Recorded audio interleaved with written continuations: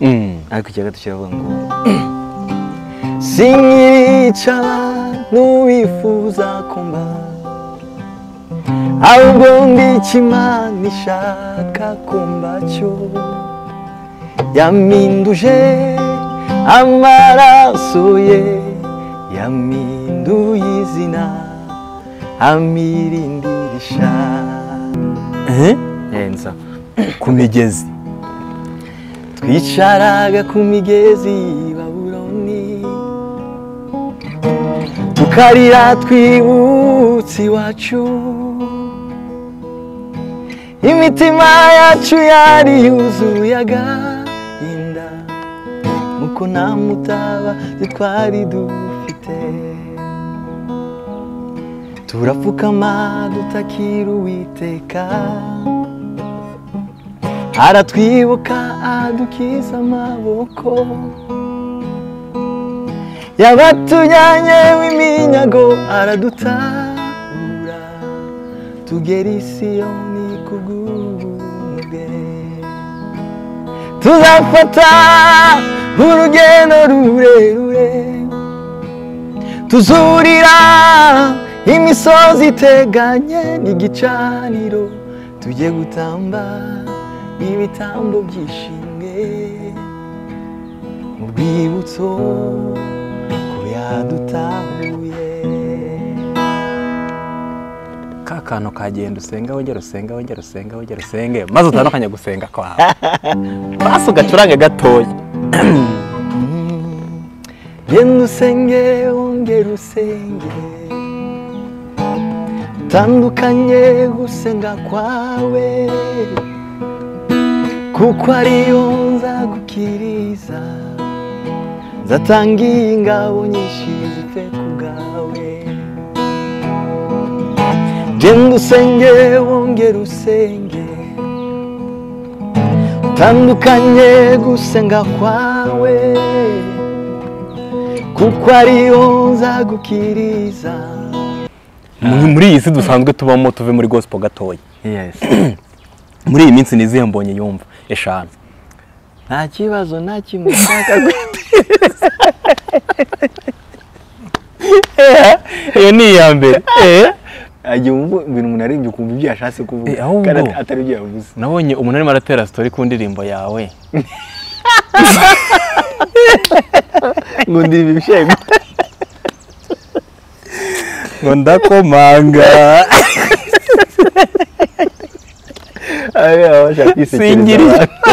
bashaka kwisekereza abantu. None se yakomangaga eh hano eh, no mu badukurikiye ushobora no gusanga harimo umuntu none ni benshi. None ahangaha uri mu bihe bibi kabisa uvuga ati ariko bite kubera iki ngewe kubera iki? Ugasanga ikintu cyose agerageza kiranga. Akibaza za kubera iki nyinshi cyane. Wamubwira iki dushingiye kuri iyi ndirimbo? Acitse intege arakomeretse ngira mbivuze ndahansetsa ari komenti nyamurika yes uri gucika intege se? Uretse ibyo ucika intege mbonye eh? Oya ntugacike intege. Ariko hari n'imiti ihumura. Reka nambonye akandagiye ku isoko byarawe kubera ko mfite fiyanse ubwo nyine muri ba bakobwa natwe tubona abo baketi bashabe ba shadibu bande. Aba ngaba nyine tuba tureba. Wowe ureba nde kavuga uti sha afite amafoto meza reka ndebe. Kwirebera ngo ndavuga kureba gusa.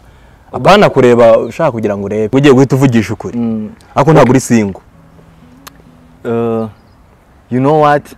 Ntabwo ndi simba ntabwo ndi simba wenda wenda muzarekera kubimbaza mbonye ntabwo ari singo ntabwo ndi simba aha. So question B yawe yawe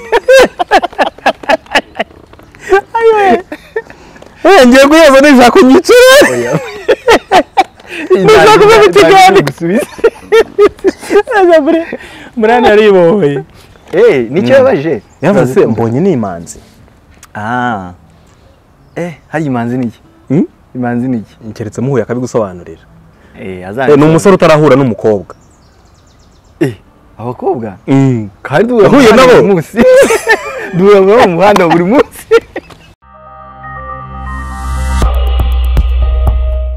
duhura nabo mu muhanda buri munsi yes reka ngusuze kandi nkwifurize ibihe byiza kuri Kisimbi TV nizere yuko umeze neza nizere yuko aho uri mu bice binyuranye by'isi ibintu bimeze fresh. Niba bitameze neza kuri wowe unkurikiye ndakubwira yuko mu buzima tubamo bibaho. Niko bigenda ntabwo bihora bimeze neza ntabwo bihora biryoshye. Uyu munsi biba ari byiza ejo bikaba bibi. Uyu munsi biba ari bibi cyane wihebye utabona imbere utabona igisubizo cy'ubuzima cyangwa cy'ibibazo urimo. Ariko humura uwo musozi uri kuzamuka igihe kizagera umanuka uko byagenda kose. Nta muntu uzamuka umusozi ngo agume hejuru igihe kiragera ukamanuka. Kandi ahamanuka biba byoroshye cyane. Siko bimeze mbonye? Hanyuma ku bantu bakurikiye isimbi tv by'umwihariko turasatira miliyoni kubera imana. Kubera imana 1m Amen. turayigeraho vuba cyane. Niba utarakora subscribe nakubwira iki? Ubundi nakira umukozi w'imana mbonyi cyambu israel. Ikaze ku isimbi tv suhuza abantu nka meya yasuye abaturage Ni- gute mbaye meya sinabishobora Ah, we are happy kabisa to be here. Mm. Mm. nishimiye kwakira mbonyi israel. Akenshi iyo ngiye kuganiriza umuntu ndabanza nkamubaza nti umeze neza? Sha, meze neza. Umeze neza. Ndashima imana kabisa meze neza. Mm. Cyane. Kandi, kandi bitari byo kuganira njyewe meze neza. Oya kandi mbizi? Ntabwo ndi buvugishe ukuri. None se wizi gute? Oya ntabwo ndi buvugishe ukuri. apana ibyo ngibyo uzi. Eh, apana bimwe na bimwe nkubwira. Oya. mbivuge se? Oya oya. mbivuge. Mbonye waritse nkabivuga. Nibwo tugitangira. Turagira- mbabarira mbivuge? Ntabwo nongera. ndabivuga rimwe. Turareba Nabivuga- rimwe. Yangane. Okay. Yitwa mbonye icyambu israel afite alubumu yise icyambu. Ni alubumu benshi mwakunze ni alubumu ifitanye amateka nawe mu buryo bukomeye cyane. Ah, ntarinjira mu kiganiro ni umuhanzi mukunda benshi dukunda nanjye ndagukunda urabizi neza mbonyi. Ah, mbere yuko twinjira mu kiganiro ah, nk'umuramyi nk'umuhanzi utuma benshi imitima yururuka ndashaka ko tubanza isengesho. Ntitujye kure y'imana. Mm. Tuyisabe ibe hano tuze kuvuga iby'umumaro ku batuye isi. Mm. kadusenge yego. Mana tuguhaye icyubahiro tugushime ko uyu munsi ari wowe uteguye wateguye ko tuzaganira hano ku isimbi kandi ugashima ko ibyo tuzavuga hari hari umuntu runaka tutazi bizagira icyo bifasha. Kirisito ndakwinjiza kugira ngo ineza yawe nyinshi ibe kuri twebwe bwawe bubane natwe ibyo tuganira byose bigira umumaro abanyarwanda badukurikira n'abandi bose bari hirya no hino ku isi. Kandi mwa muntu udukurikira icyo yizeye mu mutima we uh, unyemerere kimu- kimubeho. Kandi uh, ikintu yumva yifuza kwakira muri iki kiganiro acyakire ni mu izina rya yesu kirisito nsenze nizeye. Amen. Mwamwumvise mbonye ukuntu asenga. Hari abantu bafata indirimbo ze bakazisengeramo. Ariko mwumvise amagambo nk'isengesho. Indirimbo na zo riba ari isengesho ah, ridasanzwe kubera yuko umuntu agirana ubusabane n'imana anayisingiza anayiririmbira anayishimira. Biciye muri izi ndirimbo bambonye bakora ah, by'umwihariko. Sibyo mbonye? Cyane ni ukuri. Eh, Mm, natwe natwe ziradufasha. Mu ndirimbo zawe ni iyihe igufasha? Uyu munsi ni nyinshi uyu munsi. Ah, hari iyi ndirimbo ikibazo ni uko abantu wenda bat- ntarayisohora ariko iri- kuri alubumu ya gatanu. Iri kuri alubumu ya gatanu. Mm. wow urabyibuka nabuzwa n'iki? Ngukurikira kuva cya gihe muri serena. Kugeza uyu munsi. alubumu ya gatanu yes niyo ngiye Mm. gusohora kabisa. Um, yitwa ngo niba nkugireho umugisha. Mm, iravuga ngo uh, reka mvuge mu magambo make yarimo mm, iravuga ngo niba nkugireho umugisha unyibuke. Ijisho ryawe nirimbeho ibihe n'ibihe ineza yawe imperekeze kugeza ku ndunduro. Ngo iri ni isengesho nkumeneye umutima. Niba nkugireho umugisha. Ya kandi uh, nayanditse mu bihe nyine numvaga nkeneye kuba umunyamugisha imbere y'imana. Mm. yego. Uyu muhungu umukunda nk'uko natwe tumukunda. Mujene ukiri muto uririmbira imana dukunda Mm. mukunda Mm, ikindi utajya uva mu murongo. Wameze n'ubwanwa. Eh? Mbonye nari nzi kuri serious dore ibintu nkoreye Eh, mbonyi No. ah, ni benshi uwururutsa indirimbo zawe zururutsa imitima. Nagutumiye ku mpamvu ikomeye. Bimaze igihe kirekire ngutumiye. Mm. ntabwo ari ibintu nteguye uyu munsi ah, kandi iki kiganiro nagitekerejeho. Mm. nagitekerejeho bishingiye ku cyo twakoze cya gihe. N'amagambo wavugiyemo yose ndayibuka. Mm. sibyo mbonyi ah, ni umuhanzi umaze gukora album eshanu. Mm. iya mbere murabyibuka yayikoze mu bihumbi bibiri na cumi na kane. Ayishyira hanze muri bibiri na cumi na gatanu mu gitaramo yakoreye muri serena hotel. Yitwaga number one. Yes. iriho indirimbo mwakunze cyane. ah, hanyuma bibiri na cumi na karindwi amurika indi alubumu yise ngo iki? Muri ka kigali Intashyo. hanyuma bibiri murabyibuka ukuntu abantu twari benshi. Bibiri na makumyabiri na kabiri ejo bundi kuri noheli yadukubise alubumu ebyiri ah, mbwira na yindi nababwiye yitwa icyambu. Na alubumu ebyiri ziriho indirimbo nziza cyane ah, nzi neza ko mwakunze nzi neza ko mugikunze nzi neza ko mukwiye gushyigikira. Atari kwa kundi umuntu azumva gusa. Aho ziba ku ma platforms atandukanye mujye mugenda muzigure. Ziba zigura makeya uyigure apana kujya kudawunirodinga indirimbo kuri youtube. Byaba byiza ugiye kuyigura kugira ngo ah, mu gihe ari gutegura alubumu ya gatanu kuyishyira hanze azaba afite ubushobozi. Hanyuma ejo bundi mu kwa gatanu ah, turi mu kwa gatandatu ejo bundi mu kwa gatanu itariki cumi n'icyenda ah, habayeho kurikodinga cyangwa se gufata amajwi n'amashusho ya alubumu ya gatanu. Yise nk'umusirikare. Umusirikare nta bafana babyihitiyemo. Ni abakirisitu bahisemo bati twebwe. Alubumu yise ngo iki? Nk'umusirikare. Ngira ngo bashingiye ku mwari mwambaye Eh, bashingiye n'uburyo indirimbo yari imeze. Uburyo ibintu byari bimeze. Baravuga bati e na alubumu igizwe n'indirimbo icumi nziza cyane muzakunda. Azakora igitaramo cyo kuyi cyo kuyitwereka cyangwa se cyo kuyishyira ku mugaragaro mu mpera z'umwaka. Nk'uko bisanzwe. Ndakeka ari nko kuri noheli cyangwa kuri bonani nanone noheli kabisa. Si byose yes. Ari na se ko noneho ariko stade amahoro izaba yaruzuye? Turacyari muri arena. Ari nawe yari na.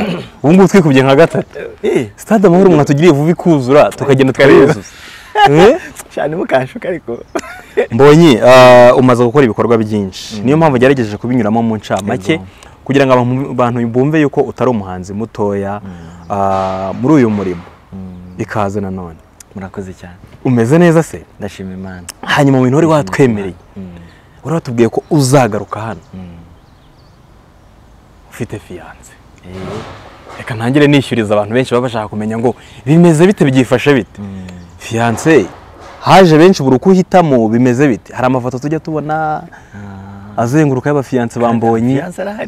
Uwa nyawe ntabwo tuzabona tuzamukura. Fiyanse arahari ngo ni we utaramenya amakuru. Ni umwe se nabonye kuri twita sinamukweretse mu kanya sinamukweretse mu kanya. Mani ngiye reka nkubwire. Wanyeretse fiyanse wa nyawe ariko abo tubona ntabwo ari aba nyawe. Uriya rero Eh, uyu ni fiyanse wa nyawe. Maze iminsi mbona kuri twitter. Ese ibi bibonye nko yumva bimeze gute? Berekana ati dore mbonyi birarangiye noneho hagiye gukora ubukwe. Hmm? ariko ariko fiyanse fiyanse tu ubundi twa ariko abantu bashobora kuba bakunda fiyanse wawe kukurusha Ah, kuko barashaka fiyanse. Kuko kandi sinzamubereka Eh? kuko bashobora kuzamusimbuza bashobora kuzamugutwara ahubwo uzi iki kibazo Mm. uyemeruka hano Mhm. bavuze ko eh, ujya uzana abantu hano ukabashakira ubufasha Mm. cyangwa se nkabashakira abafiyanse yajya ujya ubashakira fiyanse eh hari ingo nagiye nubaka Tangira rero hano. campaign. Mm. tangira kampeni rero dushake ba fiyanse kampeni narayikoze ubushize ahubwo buriya bakugezeho barakomanze. Mm. ubarya sini Oya ngo- ntawamenya ngo bagize ngo ni blague bumvaga ari burage ese ufite abantu bangahe ba- ba- bavuga bati se mukozi w'ima wangiriye impuhwe kandi burya umuntu agusabye kumugirira impuhwe kumugirira impuhwe. Mbonye ntihabura umukobwa hano hanze uvuga ati mbonye uwo kabyara we. Ko ngukunda. Wagize gutya tukagira? Gira rwose. Ariko fiyanse nzamubereka. Mm? igihe cye cyo kumwerekana nikigera wavuye hano tubwiye yuko uzagaruka kabisa tumubona. Mm. Um, ese nta n'uwo bakubeshyera? Oya tuve kuri ba bandi bariya twabonye. Eh, abo ni benshi. Nta n'uwo bakubeshyera nibura bavuga bati urumva nko muri karitsiye hari uwo bakuranye kera. uwo- uwo twifotozanyije wese ubwo ni uko nyine. Nagiye kuri instagram yawe mbura ifoto yawe uri kumwe n'umukobwa. Uwo ari we wese. Nubwo yaba agahongayire ntawe.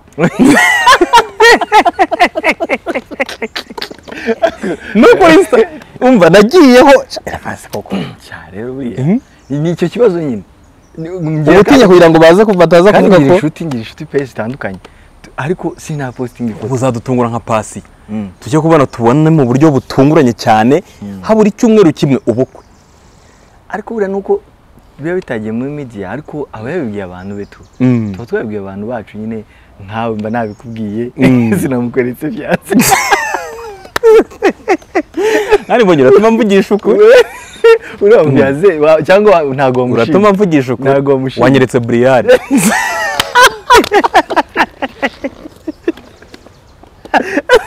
Eh, ni uriya. Byamera bite Eh. couple ya mbonyi na Brian dutunga bati save the date. Rero ngiye gusetse mbega couple ibaze wowe na Brian muri muri couple mugahita mutubwira ati invitation z'ubukwe nta mikino irimo ntabwo byaba byoroshye ubwo nyine si wa mugabo we ko rujya aho rushaka najya ndirimba nawe agakora akaku DJ yakubera Ya, ariko rata fiyanse ndabikunda iyo mubimbajije Mm. ni byiza. Biragaragaza kandi abantu benshi barabimbaza. Eh. ikibazo ni uko mutuma abantu batekereza ko nshaje. Oya? Eh. no bivuze se ko ushaje ahubwo bakwifuriza ibyiza mu gihe ugifite imbaraga. Ah, urashaka fiyanse warashaje? Uzi ko hari ibyo. Eh. none se nta kuntu umuntu yabanza akiyubaka agatera imbere. Ese urashaka kwiyubaka icyo ageraho. inzu? nyine ono akabanza akagira icyo ageraho Mm. noneho akazana nyine uwo mufiyanse ariko nibura afite nawe ahantu ubu se ni cyo utagezeho ukeneye kugeraho mbonye? Oh, ikintu ntagezeho. Ukeneye kugeraho. Ah, Mm? si- sindajya nko mu kwezi nta munyarwanda urajyayo kuva rwarema Kuki nta nta wa mbere wajyayo wamara kujyayo ukabona gukora ubukwe. Cyangwa ukajya kubukorerayo. Ibintu nk'ibyo shamba nibaza ukuntu bizaba bimeze.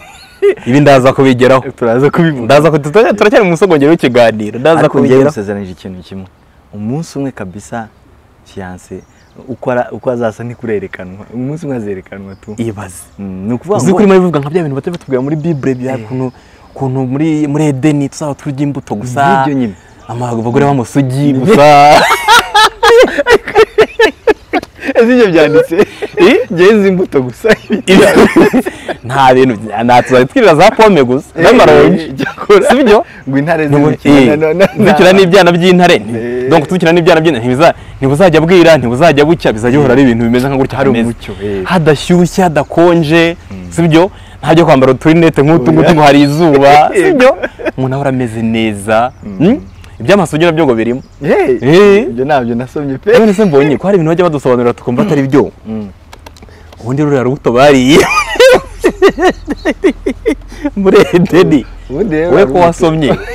Ni uruhe bariye koko? Adamu na Ni. ushobora kuba ari nka ni uruhe rubuto rubihara. Oya kuko bararuvuga abantu bakaruvuga bitandukanye. Eh, Mm. ushobora kuba ari nk'urutoryi uru- ni urubiha tu urutoryi rubarizwa mu mboga. Mm. urutoryi Ahubwo- se igisheke kibarizwa mu ki? Gisheke gisheke ni muri furuwi cyangwa ni eh, eh? wa mugani we. Mm? Ariko ni nka furuwi buriya buriya igisheke si fruit? Urasa igishe- igisheke ni furuwi eh. Kibarizwa mu biki ikibazo ni ubwa mbere nyumvishije kabisa uko ntabyo nzi nanjye ntabwo nzi ahantu kibarizwa ariko urubuto bariye nyine je pense ko ari muri za zindi zo muri edeni se Muri bavuze Edeni. bati rwose iyi pome ntimukaryeho barayisarura barayirya. Sasa rero ngewe numva bigisha benshi babyigisha Mm. mu buryo butandukanye. Njyewe mpyisi hari ukuntu Mm. nawe yayisobanuye ariko ubwo bisobanura nka mbonye naramubajije eh. Eh. Iki? ndabanza usubize ge ikibazo ahubwo atari wowe ngaho ugira ubwenge. Kigoryiwe inzoka. I think- I think ni urubuto tu. Cyangwa niba atari urubuto ubwo ni metaforo bakoresheje nyine kugira ngo birashoboka. Mm. basobanura ikintu runaka bakoze. Bakoze gitandukanye n'ibyo imana yashakaga. Mm. ariko ngewe iyo nsoma ijambo ry'imana. Nsobanukirwa birushijeho everyday uko nsoma Mm. numva ibirushije ibyo nari numvishije ejo. Mm. ni cyo kibazo niba ari ikibazo simbizi niba ari byo byiza simbizi. Ariko igihe nsoma n'ijambo nkumva ukuntu nari ndizi last year. Mm. siko ndi kuryumva. Niko gukura mu gakiza niko rero i think kuri level yacu nyine icyo kintu sindakibaza urwo rubuto. Umunsi nzakira nka gitwaza nzakimubaza uzakimubaze pe.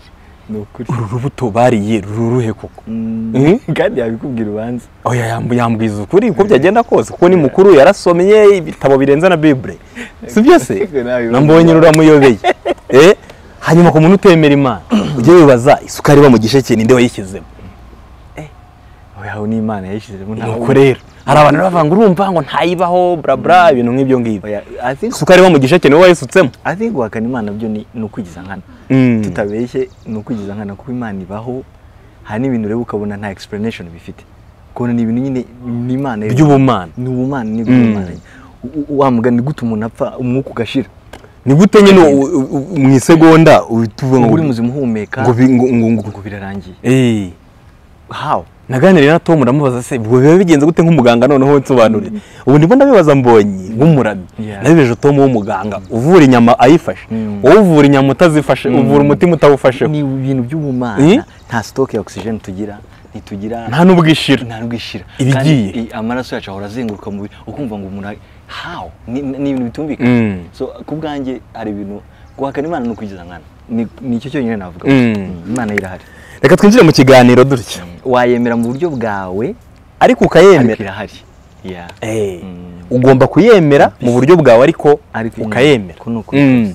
reka twinjire mu kiganiro. By'umwihariko Israel Mbonyi ah, amaze iminsi mu kazi n'ubungubu ah, aracyakarimo arimo. Aranoza neza alubumu ya gatanu twababwiye. Yise nk'umusirikare. Aba- aba- abamukunda cyangwa se abakurikira ibihangano nibo bayihitiyemo izina bayita nk'umusirikare. Hari amazina mbonye yari yaporopoje cyangwa se yatekerezaga. Ariko abafana nibo nibo bagutegeka ntabwo ari bo bategeka. Bihitiramo izina uranabubaha. Ah, ako kazi karaye ka alubumu ubwo kandi ngiye kubivugaho akaba afite n'ibitaramo i burayi. By'umwihariko azahera i buruseli itariki cumi n'imwe z'ukwa gatandatu ejo bundi aha.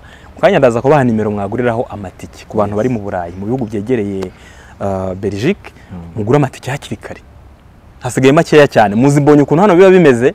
Muzi aho ajya mu bihugu bitandukanye mu bubirigi muri benshi cyane. Birasaba kugura itike hakiri kare kuri reservation hakiri kare. Nawe ejo ejo bundi ara- araba ahasesekaye nzaza muherekeje. Hanyuma mbonyi serious? eh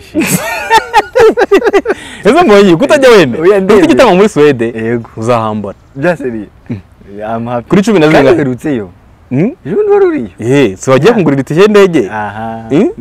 ngiye kugurira itike y'indege zagusangayo Yego. hanyuma reka duhere kuri alubumu ya gatanu. Ni alubumu itandukanye n'izindi zose wakoze. Mm. n'uburyo uri kuyikora bitandukanye ni- n'izindi. Mm. Ah, ku muntu utaragize amahirwe yo kuza muri muri handi wayirikodingiye wamubwira ko ari alubumu imeze ite iteye gute nibura hari abayisogongeye ah, hari n'abayumviseho bwa mbere. Wowe noneho nk'umuhanzi wayiririmbye wayikoze n'uwuhe mwihariko ifite Itandu- bitandukanye n'izindi. Ah, ino album njyewe na- ni album y'urugendo ni album ya ya encouragement. Mm. Urabona muri iyi si hari ukuntu na social media zateye Mm. abahakanyi babaye benshi Mhm. confusion ni nyinshi abantu ntibakimenya n'ibyo bizera n'ibyo batizera ariko eh, ibicantege byabaye byinshi ni Mm. nakijijwe abantu bakubwira ibintu biri eh, vague bakubwira ah biriya bintu by'abaturage cyangwa biriya bintu nta kigenda Mm. ukumva nyine ntuzi icyo ugomba gufata n'icyo ugomba kureka rero ni album yo gukangura abantu yo kongera kubyutsa imitima y'abantu. Kubabwira ngo niyo mpamvu i- nashimye imana uburyo bayise ngo nk'umusirikare. Turirimba njye nari mfite irindi zina mu mutwe. Wari wahisemo Eh, irihe i- hari indirimbo mfite witwa ngo jambo. Nahise Jambo. jambo? Jambo ni petit frere uyu nguyu ya? Jambo rero? Mm. ndayikunda cyane. Ni nyinshi numvaga nakwitira album. Ariko bayise nk'umusirikare Mm. numva refure y'iyo ndirimbo iravuga ngo nk'umusirikare utajya asubira inyuma. Mm. ngo twambariye urugamba. Mm. ngo kandi turi abanesha donc deja turi kurwanira mu nsinzi. Iyo album rero n'ikivuze niyo kunkarejinga gukangura imitima y'abantu kugarura ububyutse mu bantu. Mm. Ah, harimo indirimbo nyinshi nziza nakunze nanjye ubwanjye ndirimba nkumva ntuka zi- ziri kuva ku ndiba y'umutima. Mm. rero ah, ni, album yo kongera gutera abantu intege kubabwira ngo mukomeze urugendo. Ibyo mwizeye ntabwo mwibeshye. Yego. Yego. Hanyuma ngahita ngaruka ku ndirimbo yawe wakoze Mm. yitwa nzi ibyo nibwira. Ngira ngo iri kuri namba wani iri kuri kuri, number one. Ni kuri namba wani ni imwe mu ndirimbo uh, abantu twakumvaga kera ukiri ku ishuri mu mahanga tutaranakubona ni imwe mu ndirimbo zakunzwe cyane kiriya gihe. Mm. ikaba irimo amagambo agiye ku giti cyanjye. Mm. uh, maze iminsi mvugaho no mu kiganiro hano. Uh, hari igice uririmba ngo ngo genda usenge wongere usenge wongere usenge utandukanye gusenga kwawe ni ho nzagukiriza. Iyo ndirimbo Mm. ijya gusa n'ibi ngibi o, urimo uravuga bigize alubumu yawe ya gatanu. Kubera ko habayeho guhakana habayeho ku- ibintu abantu batuzanira ukibaza ibi bintu kuki abantu badashaka gutekereza ku bumana kuki abantu badashaka gutekereza uburyo ari ibigenga. Mm. n'ibyo ngibyo turimo turatekereza ko ari ibigenga bishatse leta ibi nabisitopa. Mm. bishoboka cyane. Mm. Ah, hanyuma hari umudamu twaganiriye wahuye n'ikibazo cyangwa se ikigeragezo cyo gutegereza urubyaro igihe kirekire. Yamaze imyaka cumi n'itanu ategereje urubyaro ni umurundi kazi witwa kanyana. Twaraganiriye ambwira ko acyumva iyo ndirimbo yawe ayo magambo yaramufashije. Kubera yuko hari igihe dusenga dusengera ibintu runaka cyangwa se turi mu bintu runaka turi mu bihe runaka eh, tugatekereza ko dusenga uko bikwiye cyangwa se dutekereza imana uko bikwiye nyamara bitandukanye n'uko yo ibitekereza. Hanyuma ngafatira kuri aya magambo nanjye nkakubariza kuri ya alubumu uvuga aya magambo uririmba aya magambo wowe wari uyakuye muri iyo context cyangwa se wari yashyize muri iyo context muri iyi ndirimbo yawe ah, nzibyo nibwire. Rero reka ngusetsa ikintu kijya kimbaho sinzi niba n'abandi urambabarira sinzi niba n'abandi bahanzi nabo ariko bijya bibabaho Mm. hari igihe imana iguha ikintu necessary atari ukubera wewe ugikeneye. Mm. Oh, irakimpaye mbese mbaye inspired reka nyiririmbe. Oya ahubwo ikakiguha kubera impamvu runaka y'inyungu rusange. Mm. hari nk'abantu bajyaga bambaza kuri album ya mbere ngo ese aya magambo uririmba? Ava he? Wanyuze mu bikomeye nkabwira Mm. ibihe se bikomeye. Wa- wanyuze mu biki bituma urimba ibintu nk'ibi ariko nanjye njya mbyibaza ku migezi koko? Iyi, agahinda koko? Uyu musore. Ukagira ngo mbese hari nk'ibintu nanyuzemo bya hatari? Ntabyo. Okay birahari byanjye byo ku rwego rwanjye. Ariko apana ku rwego babitekerezamo. Icyo gihe rero nandika indirimbo Mm. ah, na- nasobanuraga imyumvire nari mfite icyo gihe ni- niyo ngiye kubivuga none nkubwire nuko mbyumva icyo gihe. Eh, icyo gihe. Kuko mu kanya wanavuze uti hari ijambo nsoma Mm. Nkumva ritandukanye n'uko naritekerezaga mu gihe cyashize. Ngiye kukubwira ukuntu nabyumvaga icyo gihe. Nanditse ndi ku ishuri ndi mu buhinde. Yavuga ngo ngo genda usenge wongere usenge utandukanye gusenga kwawe ukuvuga iki na- na- nasobanura nisobanuriraga gutya. Genda usenge wongere usenge nturambirwe. Mm. ukomeze kuko ijambo ry'imana rivuga ngo yemwe abahamagara uwiteka ntimugasibe. Mukomeze mwinginge mukomeze ubudatuza. Ubudatuza ubudasiba. Nimusenge ubudasiba. None wongere usenge ako kararangiye none utandukanye gusenga gusenga utandukanye gusenga. Ngewe icyo gihe imyumvire nari ifite yaravuga ngo uyu munsi niba nasengeye tuvuge mu nzu. Mm.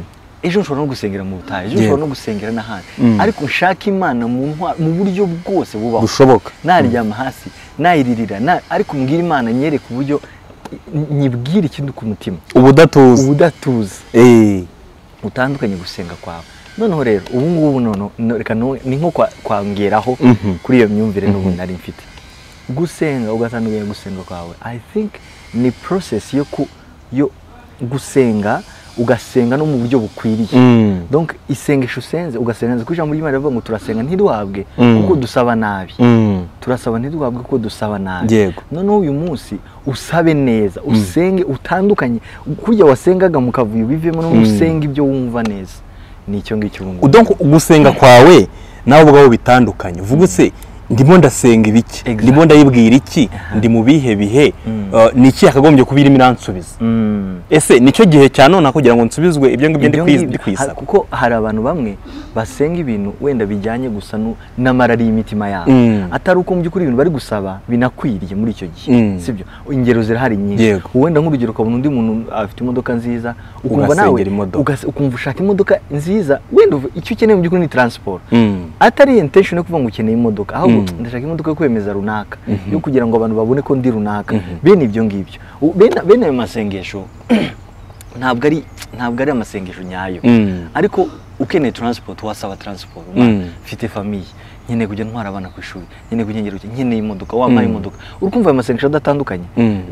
imodoka urayikeneye ukeneye transport yo kugufasha ibintu runaka. Hari n'undi ukeneye imodoka gusa ngo ah, sure. Juste, je- hey. Numve ko bavuze ko mfite imodoka. So ni ni nka- ni nk'ubwo buryo bwo gutandukanya amasengesho. Hanyuma muri iki gihe rero ari na cyo alubumu yawe ishaka kongera ku- ku- kutubyutsamo cyangwa kuturemamo.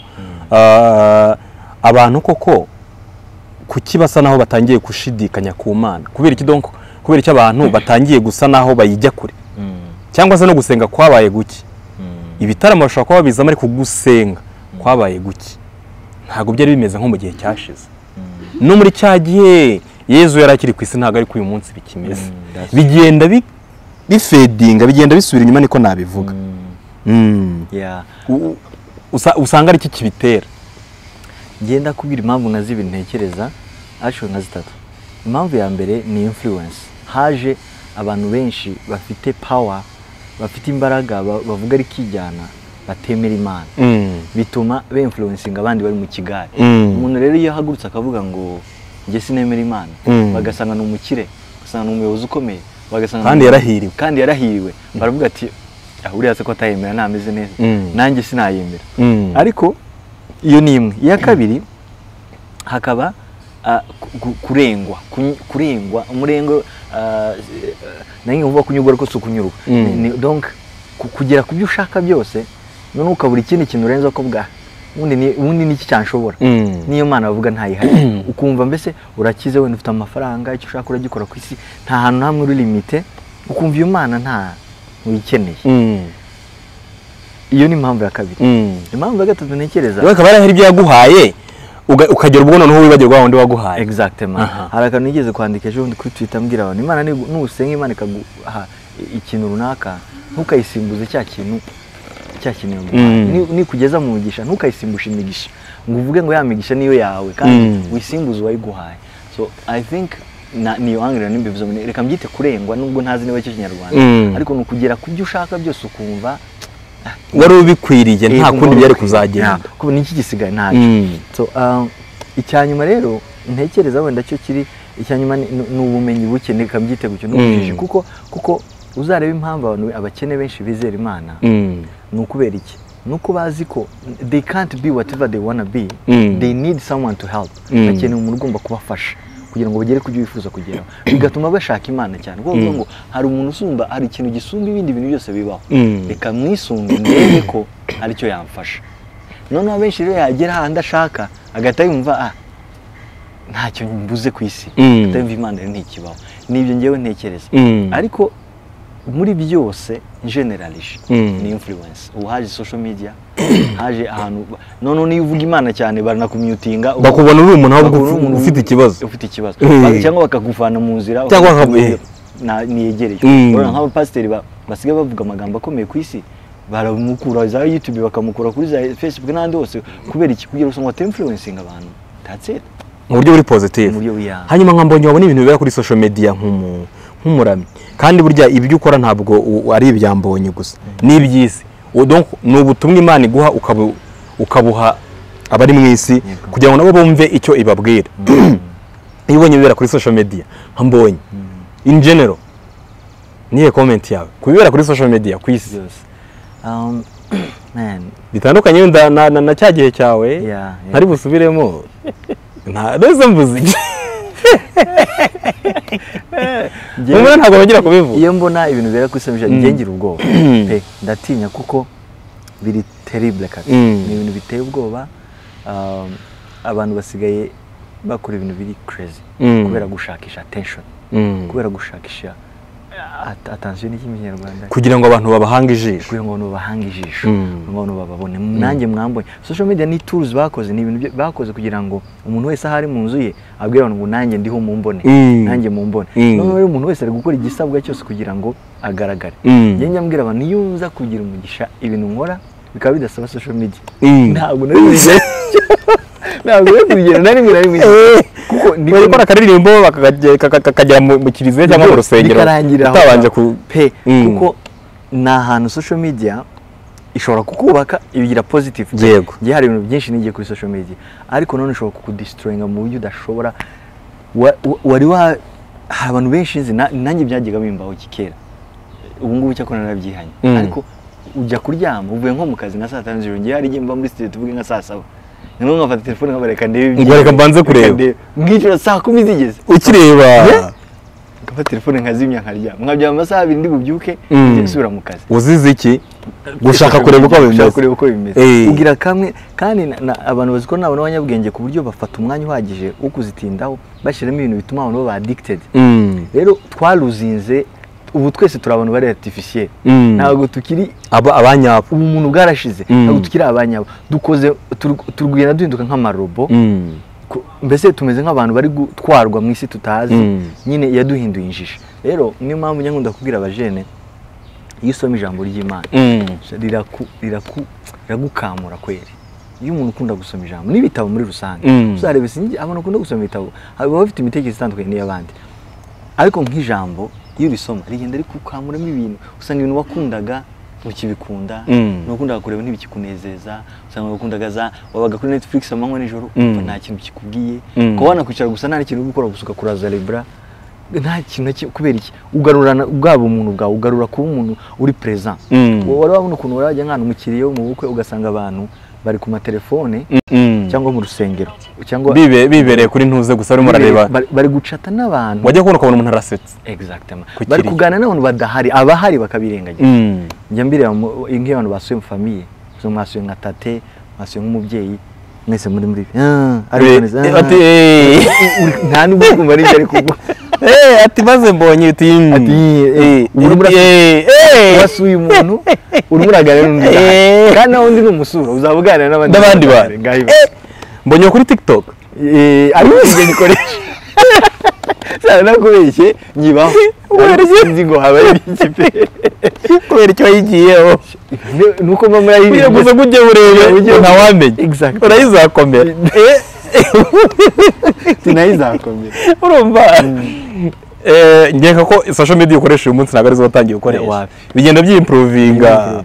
Ni ukuvuga ngo rero na tiktok ushobora kuba waragiyeho niyo mpamvu nari nkubaje ngo kubera icyo wayigiyeho ni influence ibyo ntitwavugaga nyine wumva uh, wenda ngewe nk'urugero Mm, hari umugabo na- nakurikiranye interview yitwa ngo Ed Sheeran w'umuririmbyi. Yego. Yigeze kuvuga akantu aravuga ngo iyo abonye umuntu apositinze ifoto nziza like nyine iri personal kuri social media. Ngo aramuhamagara inshuti. Are you okay? Ko abavuga turiya muntu ntameze neza. Ari gushaka attention Mm, kuri social media. Mm. ari gushaka ko abantu ba- bamuvalidatinga bamwereka ko ari ameze neza. Mm, ngo aramuhamagara ubu umeze neza. Kandi mirongo icyenda ku ijana y'abantu bagiye bahamagara asanga ko batameze neza. That's why babishakira Mm. aho bitari. Donc akavuga reka nereke abantu ko meze neza. Niyo mpamvu usanga abantu bifotoza ku mamodoka meza nuko batayagira. Mm. bifotoreza ku mazu meza nuko nawe bagira. Mm. uzarebe umuntu ufite inzu ujya kwifotoreza W'umukire. ntawe ni bake. Nanjye sindabona abakire bifotoreje ku mazu.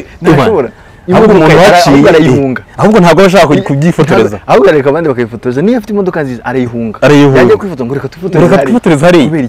kubera ko niye sibyo kubera we arayifite muri plan umeze ukuntu mbonye abigenza. Ndarengana mbonye. Ajya kwifotoreza ku tuzu two turi aho ngaho kugira ngo utaza kubibona. Ariko nuko niko bigenda. Niyo reality. kandi niyo reality Mm. so rero social media zabaye ahantu ho gusikinga aho gushakisha ijisho abantu Mm. bandebe Mm. rero ngewe personally u- izo mbaho ni ukuri ntakubeshye akenshi postinga nk'iyo babinyibukije ati instagram yawe warayisinzirije pe Mm. ntabwo igikora cyangwa se mfite nk'indirimbo ngatangira gupostinga wenda ngo mbwire abantu ko indirimbo yasohotse. gushyira hanze indirimbo. inshuro nyinshi ni ibyo ngibyo njye nigeze kugera igihe Mm. ngana na bagenzi banjye. Mm. pana biriya byawe bya kera kandi biratuma nongera kubivuga narabi- narabi- narabiretse Ngira abantu ngewe ngiye kuva kuri social media. Baramuzi kubera iki? Numva naguma ahantu gusa nzaza nsharinga indirimbo. Ukiberaho nka King James? Eh, nta nta King James nta social media abaho ariko uzi buriya amahoro yigirira? King James umusanga mu rugo yicaye ameze gutya ariko aratekereza yirebera ajya Wala, buriya rero ameze neza cyane. na zo King James turarya iki? Hitamo ifi akanayigukorera ntuzamusangana ntuze Reka ijwi- King James ni bwo buzima abayemo kandi abafite donko isi abazahanigeza ariko ntumubwire ngo urasanga arimo arasinapinga Reka da. Mm? twabaye nyine abacakara twabaye imbata Mm. zi- z'ibintu by'amategeko. Yego. Hanyuma se mbonye uh, nk'umuhanzi ukiri muto uririmbira imana. Uyimanaginga gute kugira ngo nk'umujene social media iyi si muri rusange kuko dusigaye dufite isi ebyiri. Iyi mfashe mu ntoki telefone n'iyi dukandagiyeho. Ya yindi dukandagiye dusuraho tate niyo wavuze aba arimo arakuganiriza we ntabwo aba kuri social media. Wowe uri kuri ya yindi yindi tugendana muri telefone. Nk'umuhanzi ukiri muto ni gute iyi si tubamo ya kabiri ya social media? Itwa influencing. Yatumye abantu bahinduka bibagirwa imana. Ah, itaguhindura. Itagira uburyo ikuyobya. Ngo aho wari kuririmba yesu umumyutingi umukuremo umuntu yaramwe ngo hari abantu basigaye bamukuramo kugira ngo hagire ngo, abandi bantu basa naho bumva iyo ndirimbo ngo. Kugira ngo hagire ngo kugira ngo ngo ngo nibura ngo hagire n'abandi bantu bazamo bumva indirimbo yawe. Wowe niki gituma udahinduka? Ukaba wambonye twamenye bibiri na cumi na kane kugeza uyu munsi. Nge akantu ahantu nyibutse nze kuvuga se nkiyabagirwa ko indirimbo zirimo yesu uze kunyibutsa. Mm. Ah, uburyo mbinavigatingamo uburyo mbinyuramo njyewe nzikoresha nk'akazi nk'umurimo reka mbyite Mm. instagram yanjye ni tool zo gusharinga si ahantu ho kuvuga ubuzima bwanjye buri personel Mm. ni ukuri naba nkubeshye sindajya kuri instagram mvuge ngo ndashimira imana ngo yampaye ngo imodoka ngo cyangwa ngo Mm. inzu ngo cyangwa ngo byagenze ntabyo nakora Mm. n'inshuti zanjye iyo twasohotse ngo dore harimo gushya ngo ibintu biragenda bigenda neza iyo twasohotse ni gake nabara nk'ibintu napositinze by'abantu positinga ibintu birebana nanjye na famiye yanjye njye Mm. narababwiye famiye yanjye kera ntari nafolowingaga Mm. Uzi impamvu nabafolowingaga mfite barumuna banjye b'abasore ba- bangana nanjye Ba- eh. bangana na cita oya ntugatuka neza ari umuntu wahozeho barumuna bawe turangana nirwo rugero rumwe uratanga. Eh. Kera ntabwo nabafollowingaga Mm. kubera iki kuko njyewe eh, this is my life ariko hariya ni nk- ni nk'akazi reka mbyite Mm. ni ubuzima nyine bw'umurimo nkora Mm. rero ni abantu banjye ni abantu bari personel ni amaraso yanjye Mm. ntabwo ari abantu nko kujya hariya ku expose ngo nirwe mbwira abantu ngo ngo aba turavukana ngo ngo ni bwo yewe ngo abantu babone ko ndi proud. Reka da reka da. Tubanye neza tubanye mu buzima bwiza turenjoyinga tugira amafoto ntashobora kubara. Mm. ariko nta nimwe njya mpfa gupostinga. Yego. kubera iki? Umunsi haramutse hagize ikintu cyambaho nabo babanza nabo bahita bajyamo. Nabo bahita bajya Mm. tuvuge god forbid ariko hagize nk'ikintu kibi kimbaho. Niyo mpamvu ujya kumva ukumva ngo inkuru ngo murumuna wa runaka ngo yakoze ubukwe. Mm. ukibaza murumuna wa runaka azwi nate murumuna wa mbonyi yateye mbega uzi ko ateye imbere ya mbonyi. Karakoze karakoze mbonyi ko afite amafaranga. Eh. mbonyi ko akunzwe. Uyu musore warabura ikigo akabyara wenda mushiki wa mbonyi ngo yabyaye. Mm. ni byiza pe bavuze ariko se mu by'ukuri Byari ngombwa. muri mugiya koko. Ajemo kubera iki? Kubera nanjye petit frere pa baravuze ngo murumuna wa runaka yapfuye. Eh, kwibaza si uyu mujama azize iki koko kandi mu by'ukuri yego kubivuga ni byiza ntacyo bitwa Mm. ariko aje wumve aje mu mutaka. Ntiyabihisemo. Ntiyabihisemo aje mu Mm. mutaka w'umuntu runaka. Kuko nzi akavuga kaba muri ibi bintu ncuzinga kutaba following rimwe na nkavuga no kunze abantu ba- bagusitokinga bakajya no kureba n'abantu following. Akareba yego "Mm, kwa followingamo shadibu gusa se umbonye abashaka iki kuri shadibu buriya ni kuba bari inshuti. Buriya barazira kandi buriya Eh, kandi uri kwirebera uri gufuringa umuntu ukorera wenda arakwensipira gusa Mm. nta kindi. Rero ngewe ariko nyuma naje gusanga n'ubundi nta byose ni kimwe. Mm. so eh, nkaba followinga irindi nka nuko mbayeho ngewe rero uburyo mbikora kuba muri social media ni ukugereza kuba kuba present. Biza kuba mu gihe urimo Mm. apana niyo handi usanga abantu bose bari muri konseri buri wese afite telefone ari muri Mm. iwe kubera iki uri gushaka ibintu uzajya kureba mu rugo kandi urahari hahantu aho kwinjoyinga ibyo urimo urareba uyu Mm. munsi ababyeyi buriya bacu njye baraneze babayeho mu buzima bwiza social media ndi kuvuga ababyeyi banjye ko ngenda bazi ntabwo Mm. social media ari ibintu byabo cyane Mm. ikintu cyabo ni live ni present ni ubuzima turi kubamo nonaha. bari gufatika gutya Mm. bya telefone ni byiza ariko si cyane njye I wish nka buriya buzima pe. Mm. nuko nyine wisanga nk'ubuzima turimo uyu munsi kugira ngo wenda abantu bumve indirimbo wasohoye biragusaba ko uzishyira kuri Instagram. Mm. njye niyo mpamvu yonyine ntakubeshya Mm. iyo bitaba ibyo ngibyo mba narirutse narazivuyeho nk'ejo. Ari ibishoboka nanjye ntahakorera business ntabwo naba ntakorera business kuri ibi ngibi turiho none aha ngaha muri kurebera ikiganiro. Ntabwo mwambona. Niyo Mm. mpamvu ubona n'abantu bamaze gutera imbere cyane bageze ku rwego rwiza. Mm. afata social media akayihereza abakora akaya bazajya bakajya bayipositinga bapostinga bakora ubuzima. Ibyo nigeze kubwira abantu ko ngewe umunsi wo ku mu minsi irindwi ibaho. Umunsi wo ku cyumweru social media n'amatelefoni ndabifunga. Mm. nibura nkagira igihe cyanjye n'umuryango n'imana. Nibura umunsi. Nibura umunsi uwo ni ngewe Mm. kubera yuko naje gusanga hari n'igihe umuntu ashobora kugera akavuga ati ariko ubundi ibintu bimeze bite? Wagwana umugani wabayeho Yeah. ugasanga utekereza yuko ari wowe utuma ibintu bigenda neza. Ariko hejuru ya byose hari imana. Mm. mbonye ntajya ahinduka kuva namumenya kuva mwamumenya nkeka ko uburyo aririmba ntajya abihindura. Mu kanya nkubwiye akantu kuko hari abantu bavana mu ndirimbo zabo ijambo yesu cyangwa yezu ugasanga ibintu ari arimo araririmbira imana yego ariko ugasanga ntayo yavuze. Mm. Ngewe nabimenye ejo bundi hashize. Mm. Mm, nanjye narabyanirije avuga nkumva indirimbo runaka nkumva. Eh. iyo ndirimbo turayikunda ni gospel ariko nta mana irimo.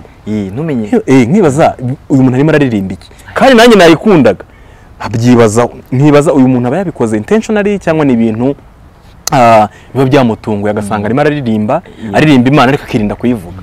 Dore ngashimira mbonye ngashimira umuhanzi hari umuhanzi rwose w'inshuti yanjye umuhanzi rwose muranamukunda ariko simuvuga Eh. kuko mba mufashije Voilà, numva. niba umuntu uvuga ngo ndashimira rwose itangazamakuru mwarakoze Ntuvuge ukabura umunyamakuru uvuga ati, itangazo eh indesi ubu muzi ibintu muri rusange reka nkubwire kano kantu ibyo bintu nanjye ndabizi bibaho. Mm. pe ariko ibyo ni manipulation abantu barabikora hari ibintu bibiri njyewe nizera ushobora kuririmba indirimbo itarimo imana Mm. itarimo yesu ariko ari iy'imana not intentionally sibyo Mm. utabikoze mu buryo wapanze Mm. buri strictire kuko imana ishobora kukwinspira ukarema nko kuri nko kuri zaburi Mm. ukarema nko kuri nk'ubuhanuzi runaka umuntu runaka yatanze akavuga ngo umwana w'intama w'imana utavuze wenda izina ryiwe ni- izo inspiration zibaho zibaho ni ibintu bisanzwe Mm. Ni- n'iyi ndirimbo zimwe na zimwe na- na- nanditse ziri ziri ziravuga ku ijambo Mm. Ukumva ni ijambo ry'imana ndi kuvuga Mm. ariko nabaye inspire n'amagambo ajyamo imana itarimo wenda cyangwa yesu atarimo ariko Mm. ababikora intentionally nibo bafite ikibazo ababikora ari ibintu bateguye ngo iyi ndirimbo reka nyikore kugira ngo izabe ikirumira habi izabe Mm. ikundwe n'abantu batumve ba- badakunda imana n'abakunda imana aho ni hari manipulation umuntu utemera yesu ariko agakunda indirimbo Eh. bati yewe indirimbo itarimo yesu nta kibazo ipfa kubivuga imana Eh. akavanamo yesu njyewe ndabivuga mu buryo wenda bwanjye busanzwe iyo imana nyesipiye kwandika indirimbo nyandika uko nyine nayihawe nko muri cyambu baravuga ngo yesu ni inkoni yanjye ngenderaho. Mm. ni icyambu gikomeye ntambukiraho. Mm. yesu arimo ijana ku ijana. Mm. ariko hari n'iyo hari n'iyo naririmbye ngo ijuru riraririmba ngo ni ukuri nturi wenyine. Donc ni indirimbo yo kwinkarejinga umuntu. Uko inspiration yawe niko nyikora. Ariko nta na rimwe ndicara ngo mvuge ngo ngo indirimbo nkuyemo yesu ngo byaba byiza. Yesu kirisito naba ngeze ahantu hari hari indi muntu hari indimo naba naba natakaye. Nta- ntabwo ushobora gukora ibyo bintu. Kuko ubutumwa tubwiriza ni urupfu rwa kirisito Mm. ni uku- ni ni ukubabarirwa ibyaha ni ukwezwa Mm. ni ukuvuga umusaraba ni ukuvuga imana ibitarimo bidasanisha nawe muri iyo cercle Mhm. sinzi ahantu kabisa uba wagiye none se mbonye hari ikintu wavuze mu kanya Mm. ah, ngifite mu nanditse Mm. Hari nk'indirimbo yitwa ku migezi. Mm. wavuze ko abantu umuntu wumva indirimbo zawe. Kera ngiye nk'ikumva ntarakubona Mm. nzi yuko nyine wababaye. Ibyo ari bisa Na- ari- na- na- ibyo byose ari ikintu cyabaye kuri. Mm. ibyo byose ari ikintu cyabaye kuri mbonyi. Indirimbo uh, yitwa ku migezi. Ubwo nanjye nkikumva ukiri ku mashuri uh, yo hanze navuga ko numvaga uri uri um- uri umuhungu nyine ariko ushobora kuba yarakubititse wagira amahirwe ukagwa ku ndirimbo ukajya ukajya uzi- uziduha. Ku migezi ko wagira ngo hari ikintu cyari cyakubayeho? Mu buryo bw'umwuka cyangwa se mu buryo bw'isi. Ariyo mfatiyeho ni urugero. Nk'urugero nk'iyo ngiyo. Ni izaburi ni twicaraga ku migezi ya babuloni tukarira twibutsa iwacu. Ni ni ni ijambo ry'imana riri ku murongo rero nitekererezaga umurenge yes. Yes umuntu ashobora kuba inspired Eh. nk'ibyo aka akandika. Mm. igihe cyanyisipiye si kuri iyo ndirimbo sinjya nkivuga. Ariko bishobora guhera muri iyo angle. Ariko uka- ubi- ukandika ririya ni ijambo ry'imana completely. Mm. kandi nta yesu urimo nta mana irimo Mm. ariko ni ijambo ry'imana nandi navuze neza naririmba rero abantu iyo ubikoze ngarutse kuri ka kantu nyuma iyo ubikoze ubishaka Mm. ugakuramo imana ugakuramo yesu ku bushake ugira ngo ngo bifate impande zombi. Aho ngaho ni ho uba wabyishe. Mm. ariko imana ikwese ikaguha ijambo ryayo ikakubwira ngo ririmba gutya. Nta kibazo kirimo. Nta kibazo kirimo. Rero nk'iriya ndirimbo ku migezi nta kantu k'agahinda kari kagashaza kari karimo mbonyi. 100% kari karimo. Ariko ntakubeshye abantu bose ba interpret uko bashaka. Bose ba interpret hari harimo akantu k'ishaza. Ariko apana ko ngakuri gutekereza. Bana bari kuvuga ishaza ryo muri sekira. Eh, ishaza nyine. Eh, yeah, na- definitely. Eh, Ni ukumva nyine ha- y'agahinda. eh. Ni indirimbo y'agahinda ni indirimbo nari nari hari ikintu cyari kiri ku mutima buri numvaga nifuza gutanga kabisa. Gute ko iyo turekera yo n'ubwambere n'ubwambere mu nyamurundi ngewe rwose iyo ndirimbo burekeye aho ngaho burekeye aho burekeye aho burekeye aho dore umugitarisite wawe araje hagera mu kanya turaje mu kanya araje araje mu ndirimbo uri buririmbe mbonye kubakorera surprise uyu munsi ngiye kubaha konseri k'iminota itanu Kabisa. mu ndirimbo ari buririmbe iyo ndirimbo irimo Ah, kuri alubumu namba wani hari ziriya nizo ndirimbo zatu namba wani ni ntashyo nizo alubumu zatumye mbonye tu- tu- tu- tumwakira mu buzima nk'umuramyi mwiza isi ikeneye. Kuri namba wani ni we waduhaye bwa mbere. Ni- ni- niyihe ndirimbo nawe ubwawe n'uyu munsi? Ah, naje gusanga indirimbo zawe zomora abantu ibikomere cyane. Cyangwa se zigatuma barushaho gusabana n'imana. Biciye mu kuyiramya no kuyisingiza. Biciye mu ndirimbo zawe. Nko kuri namba wani ku giti cyawe. Ah, ni- ni ni iyihe ndirimbo iyo umutima wawe utari hamwe wumva ugasubira mu gitereko. Ah, indirimbo nkunda kuri namba wani kuri number one. Mu by'ukuri nku- ndazikunda. Of course ntiwasohora indirimbo utayikunze Mm. ibyo byo ni ndavuga ya yindi. Nawe ubwawe ushaka kujya mu cyumba ukavuga uti cyangwa ugashyiramo mu modoka. Mm. ukazamura volume kabisa. Urabona iriya ndirimbo ivuga ngo yankuyeho urubanza.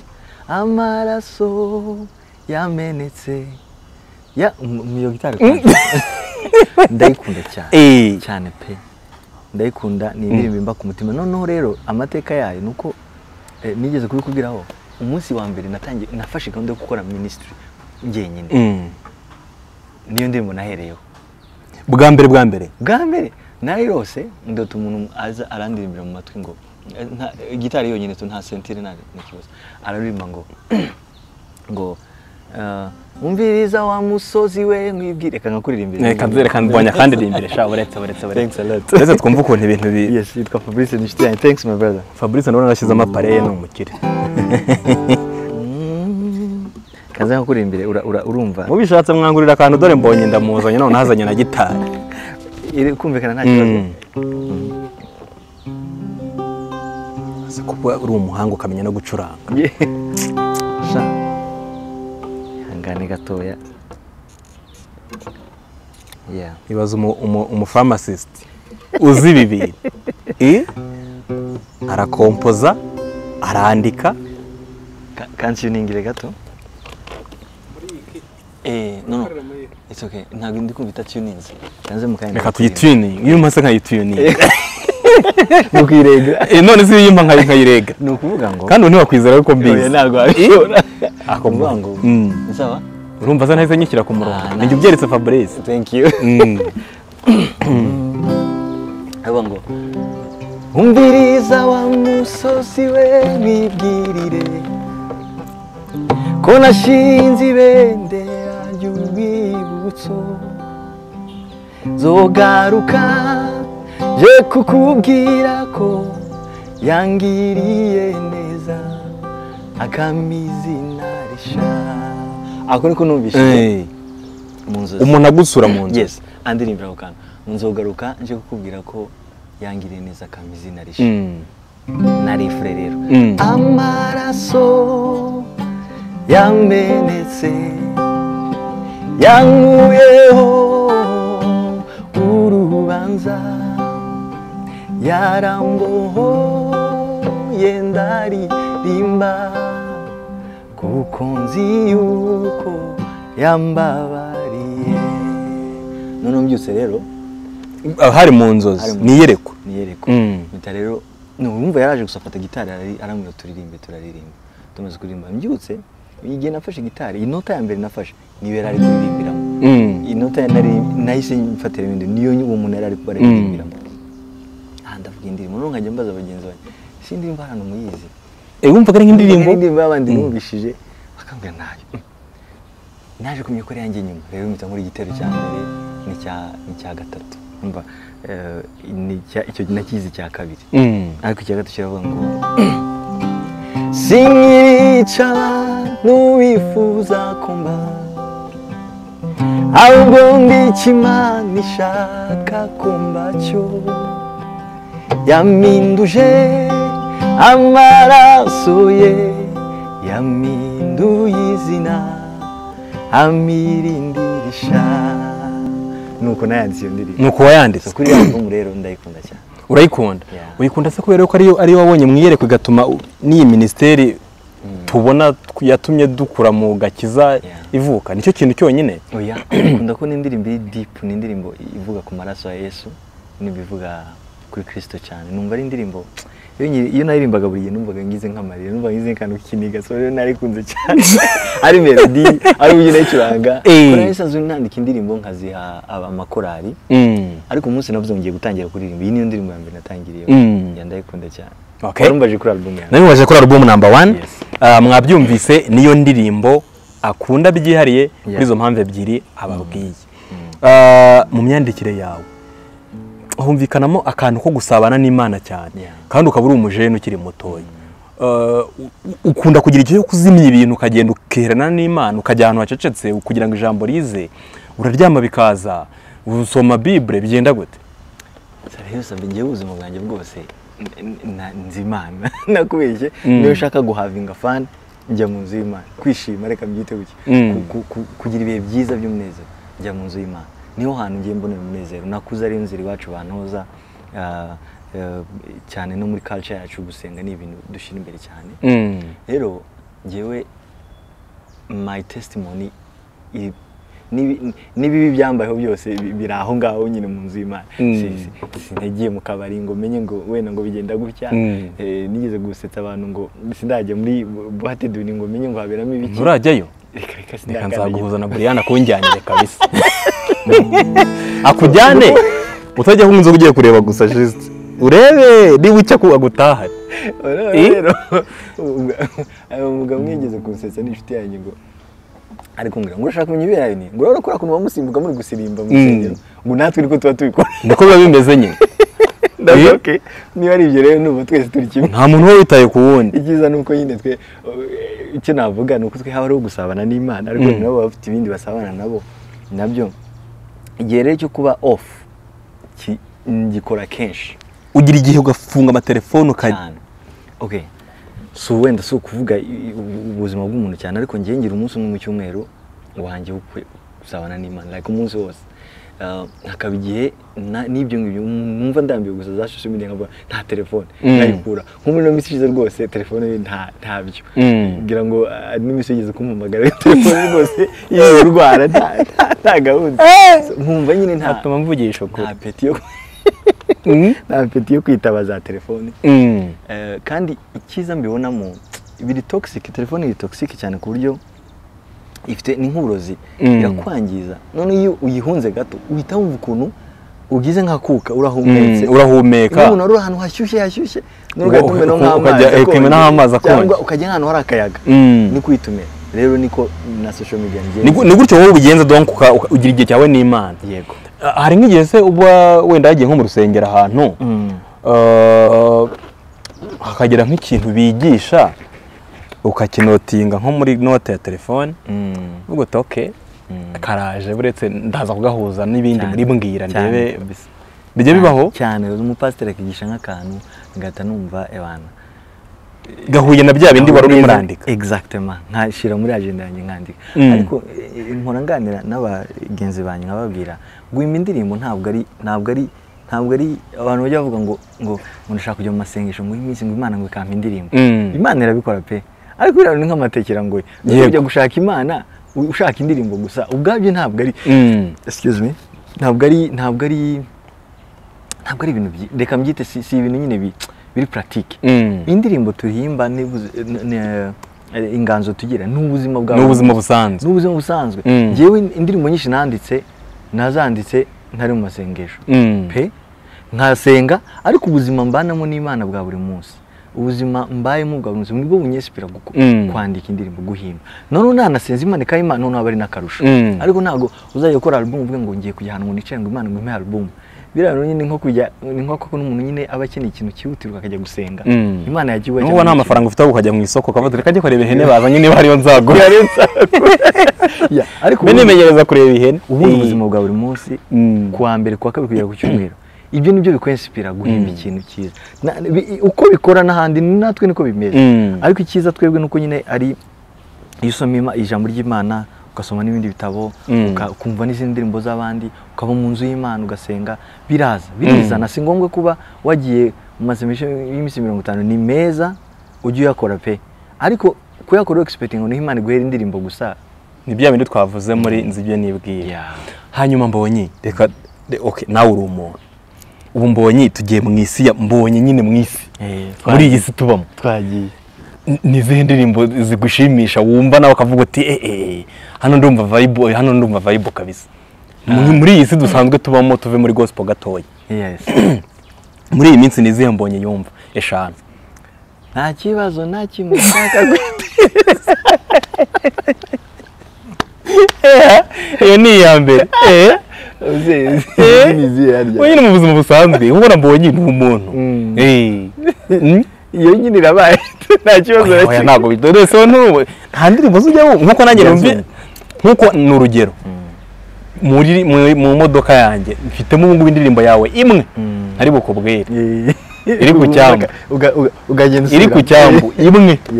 Ifite iminota cumi n'ibiri guhiza unayimenye nayimenye wayimenya Yego. sibyo uh, ni urugero nkanjye hari indirimbo imwe yawe mba mfite izindi ariko nkagiramo n'iyo ndirimbo imwe. Mm. nk'uko nawe ku giti cyawe muri iyi si duhagazeho habamo imi- imiziki twumva itandukanye harimo na gospel nawe hari izo wumva. Eh cyane ni ukuri. Mm. ndazumva pe. Kandi ndazumva nkumva Nizihe zirimo wumva? njye nka King James ndamwumva. Indirimbo ze nka eh, hari ha- hari abahanzi nkurikirana pe Mm. batandukanye. Ariko wenda sinamentioninga indirimbo ku yindi Mm. ariko zino ndirimbo zitarimo nyine ibintu bimwe twavuze bya tension Mm. ibishegu bitarimo bya bindi bibi nyine. N- Mm. ni ukuri numva ko umuziki ngenda umunyamuziki yumva n'indirimbo z'abandi ntaho we wabikwepera pe. Uyu muhanzi akora kano aka kantu kantu ni keza pe. Numva ari sawa. nkumva ni keza rwose. Yego iyo wumvise ari igishegu mbonye ko iby'isi utabibayemo umenya gute ko ari igishegu? Ndabyumva Mm, come on. Bro. Ni umuntu mukuru umaze gusaza ubu ngubu ibintu byose ndabyumva. Mbonye wumvise indirimbo ahita avuga ati "Mm, Mm. ko gishobora kuba ari cyo wabikuye? Igishego rero nta nubwo umuntu acyumvira muri eh, um, hari ni imyumvire agiye wumva ibintu umuntu arembye ukumva ibyo yashatse kuvuga Eh, kandi at- atari ibyo yavuze. nabonye umuntu arimo aratera sitori ku ndirimbo yawe. Ngo ndirimba ibishego ngo ndakomanga bashaka kwisekereza Singiri. abantu none se ngo mbonye ngo yakomangaga eh me. ni byo hano twavugaga umuntu aririmba Mm. umuntu akiyumviramo saa ibyo ashaka Yeah. mbona muri gospel birashoboka urumva ngo ndakomanga ngo eh baba babizi ko atari byo nuko. Ariko ndabumva benshi. Urabumva? Surtout none umuziki nyarwanda umaze gutera imbere Mm. nyatuka turashima imana kabisa ahantu bigeze Mm. araryoshye pe. N'amafaranga atangiye kubonekamo. Eh, niyo mpamvu twifotoza rega ngo tukifotoreza ahantu hatari ku mazu yacu. Urabona King James apostinga etaje eh? Urabona mbonye se apostinga yo mu ariko agize nk'umuntu yakira. Mm. yahita akunda amafoto ya King James wamusuye we ntabwo ari ibanga arakokereza. Eh, nta bya social media. yanyokereje nanjye Wa- ni inshuti yanjye waba umubeshye Wa- nta social media Urumva arahari, arakokereza. Mm, aba ari ku isi nyine ayihagazeho kandi ni umuntu w'imana. Njyewe undi kwiga iyo system uburyo nzabikora. Utangiye kotsa se. Ariko njyewe sinakotsa ifi uzatwokereza ibindi bisanzwe. Eh? ibindi. Eh. hanyuma wavuze uti mu bantu muforowenga fabrice reka anywa agafanta kugira ngo imbaraga zize ubundi aducurangire. Tugiye kwinjira mu gice cyiza cyane. Turavamo ubwiza tujya mu bundi Mm. twabaye ikaze na karibu. Eh, hanyuma mu bantu forowinga ninde muntu uko byagenda kose ujya gusacinga nawe ukareba ibintu yapositinze mu bantu forowinga mbonye kuri instagram. Eh, rero ndasekeje. Abantu furuga ni abantu bari ni abantu eda dukora akazi kamwe cyangwa abantu bari fani Mm. basekeje. njyewe iyo ngiye gusacika umuntu kuri kuri social media Mm. eda aba ari umukomediye cyangwa ari umuririmbyi. Mm. ibyo bintu ni byo pe. Yego. none na- nahoze ngusetse kare ukunda kuba wishimye byo ndabizi. Pe m- ndicara nshobora kwicara ugacya ndimo ndareba abantu bari gusetsa.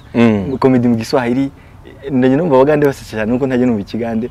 Komedi mu cyongereza mu kinyarwanda ni ibyo buzima niberamo ni Mm. kwisekera niyo tuganira inshuro nyinshi ubona ko mbaseka buri mwanya Mm. mu by'ukuri ah, n'igihe umuntu avuga ikintu kitanashyeshya ariko gihe kansetsa Mm. kubera that's ni cyo kintu mba numva nsacinga cyane kuri social media. Pe. Ni bande mu bantu forowinga ukunda gusacinga ukavuga uti reka ndebe.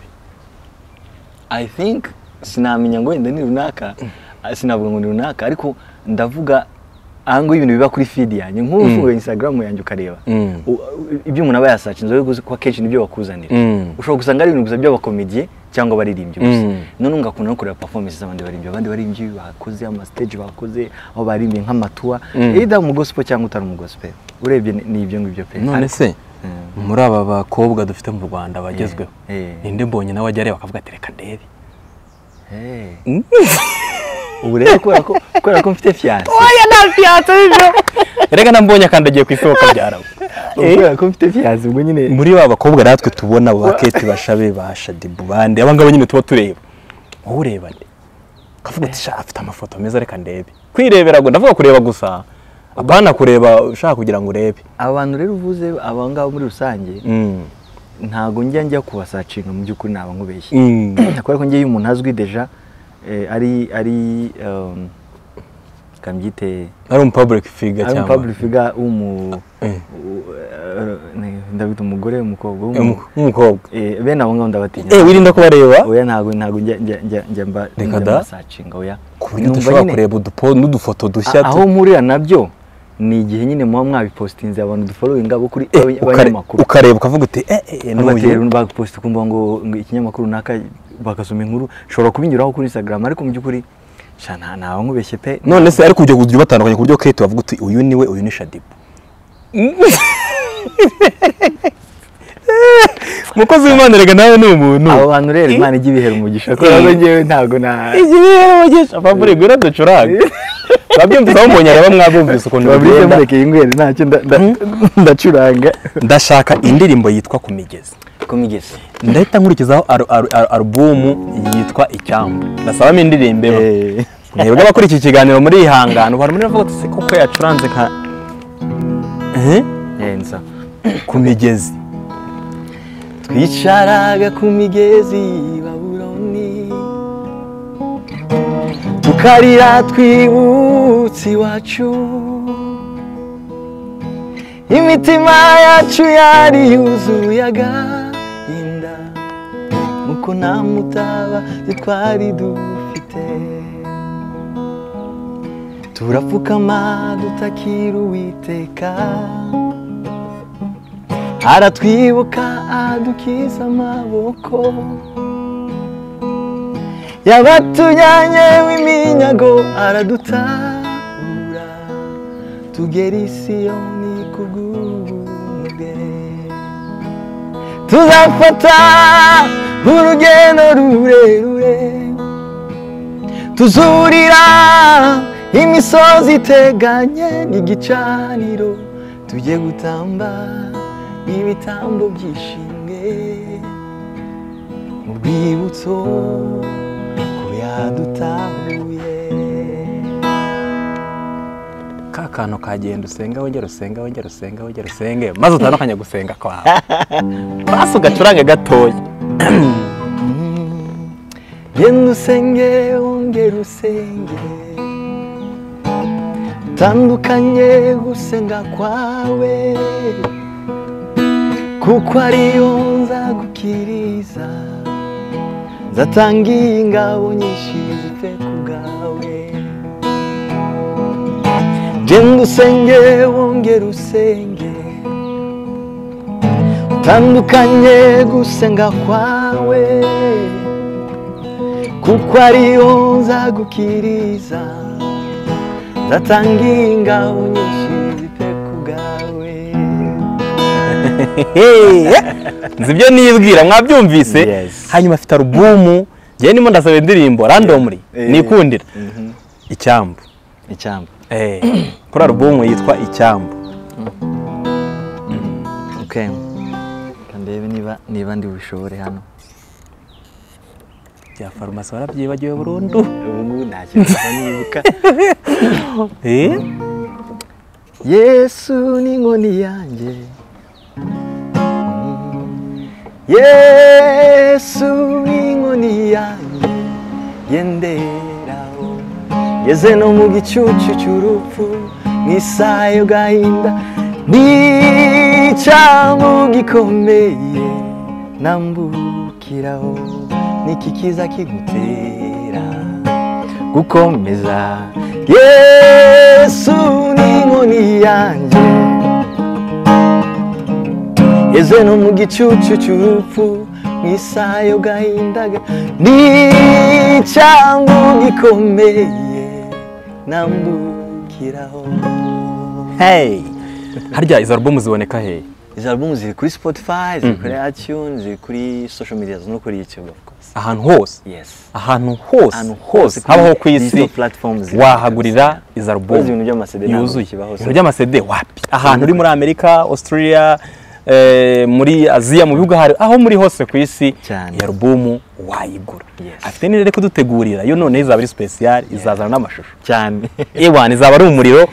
Hanyuma mbwira mbwira mbwira rero? Warayumvise neza? Narayumvise. Ah, ariko bitari neza mpabona neza. Eh. ntarayanditse naba nibeshye njye narayumvise. iravuga ngo mbwira ese uzajya wibuka Mm. mu gihe cy'amarira mu- gihe cya- cy'amahoro na- no mu mudendezo Mm. isarura nirikunyura. Uzajya wibuka ko ineza yanjye ariyo igutunze? Uri kumva? Rero ngo mbwira mu- uzajya wibuka mu gihe cy'amarira n'agahinda kenshi? Mm. ngo mu matage no mu mahina uzajya wibuka neza ko ineza yanjye ariyo ikurinda aho ni ho benshi dutsindirwa rega niyo mpamvu nyigusabye. Urabyumva rero? Ino ndirimbo mu by'ukuri nta yesu urimo nta mana irimo? Mm. ariko deja message irimo nashaka gutambutsa uburyo nabayemo inspired? Ni ikibazo nari mubaza umutima wanjye. Biza mbwira uzajya wibuka? Nugira amahoro nunyurwa uzajya wibuka. Nujya mu marira no mu bibazo uzajya wibuka. Ni ibyo ngibyo. Mm. so rero narimo ngerageza gukiraringa cya kintu twavuze indirimbo zose imana ikwensipira bitewe n'icyo ishaka kubwira ubwoko bwawe Mm. kandi indirimbo zawe niba warazumvishije ntabwo wenda ziri hari aba- abantu bahimba gutandukanye hari umuntu ujya guhimba indirimbo agahita yumva ijuru niryo rije mu mutwe we mbere y'ibindi. Undi ajya guhimba agahita yumva umusaraba niwo uje Mm. undi ajya guhimba agahita yumva ngewe indirimbo zanjye ziri politiki. Ni ni mpita numva ari nk'ubuto. Muri politike y'imana. hari izivuga vup ariko zitavuze rero. Twumvamo ni rero ni nk'aho mba mvuze ni nk'aho nagafashe mikoro nkabwiriza ubutumwa. Mm. ariko nkabinyuza mu ndirimbo. Niko indirimbo zanjye zimeze. Mm. usanga mfata ikibwirizwa cyose nkagishyira Ugahita ukiririmba. eh niko nkora rero. Mbwira bwira yesu uzajya wibuka mu gihe cy'amahoro no mu mudendezo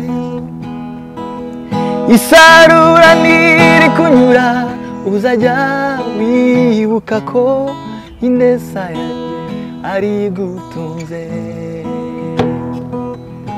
bwira yesu uzajya wibuka mu gihe cy'amarira n'agahinda kenshi? Mu matage no mu mahina uzajya wibuka ko ineza ari kurinda sora arandika koko cyoreka nkwibarize ese uzagwiza imbaraga mu gihe uzaba utegereje isezerano kuko ndabizi neza ko bibabaza umutima kumara iminsi uhamagara ntiwikirizwe mbonye iby'ubuhanga bwawe byo ntabwo turi bugarukaho isi irabizi n'imana irabizi yabiguhaye. Ah, iyi ndirimbo niyo urebye ubuzima tubamo ni cyo bivuga. Tugira ibihe byiza tukagira n'ibihe bibi. Iyo twageze mu bihe bibi twapfushije twakennye turarwaje turarwaye turi mu bibazo turi mu bihe- bibi. Ntabwo twibuka imana. Ibihari ariko tuyibazaho cyane tunayi- tunayitonganya tunayirakariye tunayi kandi indi mirimo wese ese uzajya wibuka. Mu gihe cy'ibibazo mu gihe cy'amarira. Ubwo rero ndashaka hano fabri yakira gitari. Yegeranye n'umukozi w'imana.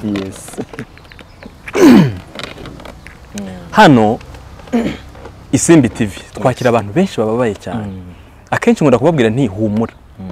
Niba uyu munsi byanze humura uzi neza ko uzagaruka hano wishimye kubera ko ntabwo ibihe bihora ari bibi.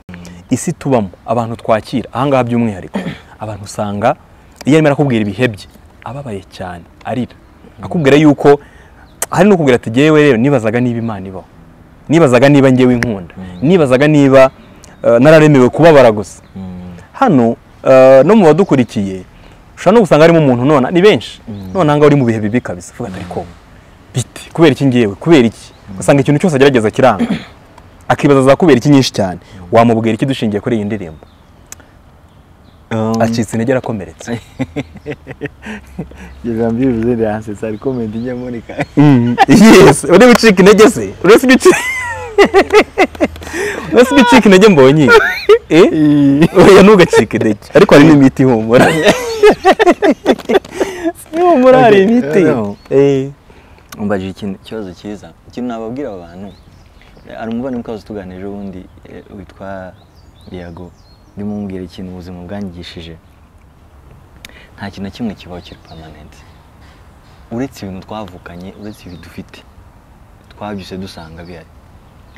Ariko ibintu byose biri temporary. Situation ndavuga mu buryo bwa situation. Mm. ibintu byose unyuramo. Iyo ari ibihe byiza ntukajya uba ntukadamarare cyane. Mm. ngo wumve ko ari uko bimeze. Ntabwo ahora agahanze mugani w'abanyarwanda. Kandi hano niba ari ibihe bibi? Ntukebe ngo wumve birarangiye Mm. aho ni ho hava amakosa umuntu akaba ariyahuye akaba arapfuye kandi yari ari kuri age yari ahantu gusa ageze nko ku kantu ka nyuma Mm. kaga karase ka nyuma bigatungana. Bigatungana. Rero nta kintu na kimwe tunyuramo imana itakizi. Mm. excuse me? Nta kintu na kimwe tunyuramo imana itakizi. Imana ibizi byose. Rimwe na rimwe imana yemera ko tunabinyuramo kuko murabizi ko imana kuri iyi si ntiyadusezeranyije gutunga ntiyadusezeranyije gukora ibintu by'ibita ku- kuzatugira abantu ba- ariko yadusezeranyije ko ibyo tuzanyuramo byose izajya igendana natwe. Nabwo ngo hari indirimbo nshya mfite ivuga ngo hazaba imisozi iyo ngiyo ngo niba nkugiriye umugisha niyo numva indi ku mutima cyane. Mm. igitero cya mbere kiravuga ngo hazabaho imisozi itazakurwaho. Mm. hazabaho n'inzuzi zitazava mu nzira ntazashobora kwambuka. Urukumva ngo si buri sengesho rizasubizwa uko mbyifuza. Ariko mana ndagufite mfite umurengezi. Iryo ni ryo sezerano. Imana yavuze ko izabana natwe muri ibyo byose izayigendana natwe. Mm. rero niyo mpamvu mu kugenda natwe ni gute rero? Ikunyuza mu kantu ikagukeburaho gato? Kugira niguha n'umugisha umenye uko uzawumanaginga neza. Mm. ikindi yabona none wadamare wabaye guke ikagushyiraho akavirigire ikongera ikagu- ikagukubaho gato reka mbyitegure Mm. wamara kugira ubwenge ikongera ikagusubiza kandi mu that's how life is. Nta kintu na kimwe kiri permanent. Rero imana yo iramutse idu- iduteruye igahita idukubita mu migisha gusa ntabwo ntitwakongera no kuyisenga twanayibagirwa. Na- nuko ngiye mba mbyumva. Hari umuntu Mm. urumva naguhaye urugero rw'uwo rw'umuntu witwa Sandra Mm. w'umurundi kazi. Utegereza imyaka cumi n'itanu. Urubyaro ni ikintu kiremereye? Wenda ni uko utarashaka ariko ni ikintu kiremereye nk'umuvugabutumwa wabyumva. Ah, asenga. Ntigeze acogora. Ntigeze ava mu gakiza. Ntigeze ajya kuraguza. Ntigeze akora ibintu bibi. Ntigeze agomera imana. Yari afite n'ubushobozi ashobora no kwivuza. Biranga. Mm. yarasengaga mu buryo bwose. Hano mu rwanda nta butayu atasengeyemo i burundi nta butayu atasengeyemo ariko ntasubizwe Mm. uwo muntu akagira ubwo urumva kenza ni nyinshi hari noneho n'usenga icyumweru akavuga ati ntabwo ibi bintu bibaho. Akabivamo. Umuntu ubabaye none aha ngaha udukurikiye.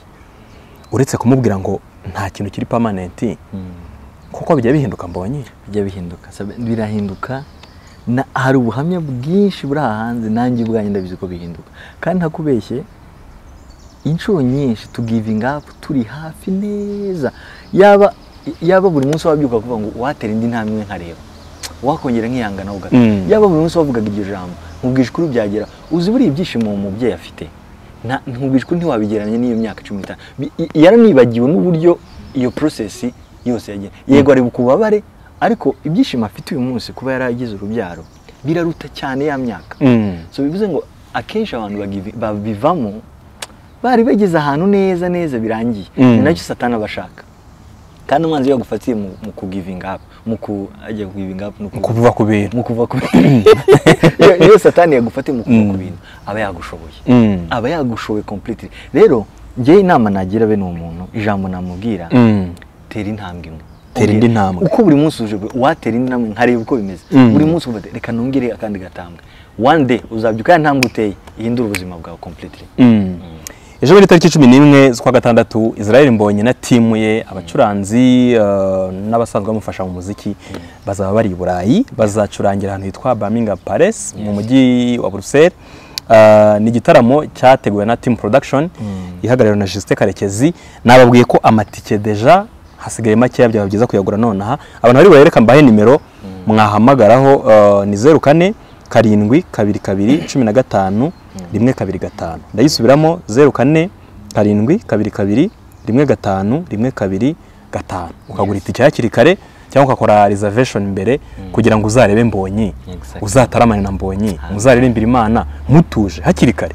Apana kuba kwinjira ku munota wa nyuma urwanarwana jya kugura itike wicara inyuma kandi umukozi w'imana araje. Yarabiteguye amaze iminsi mu myitozo Ah, nagera no mu mubiri azaba afite ikindi gihe cyo kwitegura. Muzagira igitaramo cyiza ndabyizeye nanjye ningira umugisha nzaza zakibemo ni ho ndabivuga mbonye agaseka. Nizo uraseke nuko nari kwizera ibyo uri kuvuga. Kubera iki ariko ratanye icyo ushobora kuhaba birashoboka. Cyane rwose. Bavuze ko bijya bihinduka se? Bijya bi- bijya bihinduka birashoboka. Mbonyi um, turagana ku musozo Mm. w'ikiganiro. Naganiriye na Brian yari aho ngaho. Mm. aho. Niwe wambaje atari ko hazagira umuntu umbariza mbonyi ngiye kubikubaza. Yarabajije ngo kuko mbonyi ari singo Icyo ni icya mbere. ubwo busubiza icyo ngicyo Eh. kuko Brian yarabibajije kandi mbona bivuye ku mutima pe. Eh. Brian ni umu ADPR Ah. Brian ni umadeperi cya- atanga n'icyacuma ahubwo reka. Cyane ngenda ni ibintu niboneye ku giti cyanjye icyo ni ikibazo cya mbere cyangwa se ni sukesiyo a Eh. ubwo ndaza guhita oya. kumubwira b none se mbonye Brian ntabwo yemerewe kuba se n'umufana w'indirimbo zawe sasa ubwo buzima rero bwa singo no kutaba singo. Buriya ni akabazo k'amatsiko reka nk'umuntu ugukunda Mm. wazakimusubiza se muri kumwe se? Kandi yarakibarije hano? Hano. Eh, Eh. Humura nta cyane agutwara rega fiyanse eh, ikiganza nta kintu buntware oya humura. Okay. niba ari na benshi baraza kubwira ashaka gusanga hari abari igeragezwa nka babiri. Eh, wasanga wa mugani. Yaca rero ngewe ubuzima bwa relationship. Hari umwanzuro ntabwo ndi bumukubaze humura. Yego yego. Mm. hari umwanzuro nabifatiye. Sibyo? Mm. Eh, niwo ngiye kukubwira. Noneho mbone kugisubiza. Mm. umwanzuro nabifatiye ni uko eh, sinabwiye ko kera nako ntabwo ariyo nabibwiye. Kera nigeze gutekereza ko nzibera nka padiri. Bi- bya nyabyo se Mm. nari nzi ko nzaba nka padiri. Padiri mbonye cyambu israeli byaba bisobanurika neza. Ariko ariko Eh. agaciro ariko mbitekereza angle yanjye yari numvaga gusa nshaka ku- kudatekereza ibindi bintu bitajyanye n'ubuzima nyine bw- bw'imana. Reka mvuge gutyo ubuzima bwo gukora imana gufokasinga ku iterambere ryanjye. Gukora umuziki nka n'ibyo ngibyo. Rero ngiye muri ibi bihe ibintu bya relationship mba numva nifuza kutabivugaho. Oya kutabi oya ni ikibazo cy'amatsiko gusa. Ni ukubaza ngo ese uri singo hanyuma nkabaza sukesitiyo b. Ehe. Eh. Ayo. ese mbonye koko. Eh? Ay- ayo matsiko rero reka nyamarire hano.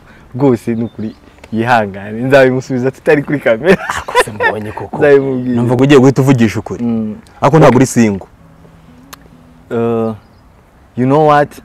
Ntabwo ndi simba ntabwo ndi simba wenda wenda muzarekera kubimbaza mbonye ntabwo ari singo ntabwo ndi simba aha. Sukesitiyo b yawe yawe Eh, ngiye guheza nishaka kunyicira Nushaka kuvuga ikiganiro. gusubiza murani yaribohoye Oya, nihangane ni burage yarabajije ati ariko se buriya mbonye koko koko uriya musore n'ukuntu mukunda ati n'ukuntu mukunda koko azakora igita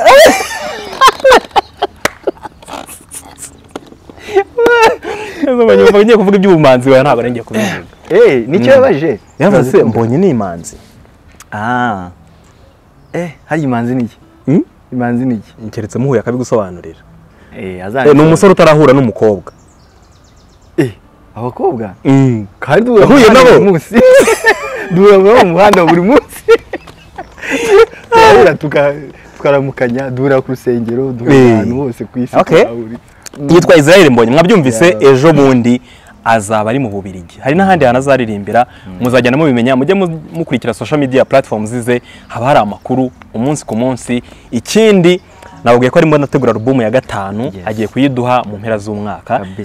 Mube mwitegura gatike muba mugakorera mu kabika hakiri kare. Actually ni indirimbo ya mbere yasohoka muri iki cyumweru cyiza. Mm. So nzayiguha uyibashangize kuri nta kibazo namba.